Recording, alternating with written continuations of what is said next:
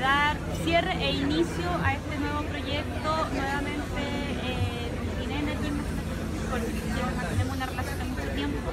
Sí, correcto. De verdad que para nosotros es un orgullo poder eh, estar dando el cierre al proyecto de biofertilizantes y a su vez dando el inicio a esta planta experimental que estamos construyendo en nuestras instalaciones porque pensamos que va a tener resultados tan exitosos como ha tenido el proyecto de la microalgas y nos va a permitir seguir haciendo este desarrollo sustentable e innovador.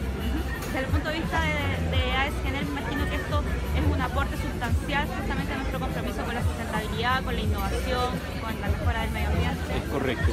Bueno, una de las cosas que nos satisface mucho en la relación con Clean Energy es que estamos viendo la unión de la excelencia operacional, cuidado y la preservación del medio ambiente y ahora estamos viendo cómo a través de este proyecto de biofertilizantes podemos hacer un aporte a la comunidad y ver cómo estos cultivos se pueden desarrollar y podemos eh, seguir eh, apoyando estas iniciativas.